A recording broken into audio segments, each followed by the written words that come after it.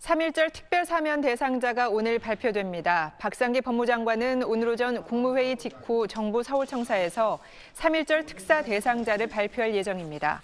이번 특사에는 위안부 합의, 사드 반대, 광우병과 세월호 관련 등 주요 집회에 참가했다 처벌받은 사람들이 포함되는 걸로 알려졌습니다. 그러나 뇌물과 횡령 등 5대 중대 부패 범죄자와 음주운전자 그리고 정치인은 대상에서 제외되는 걸로 전해졌습니다.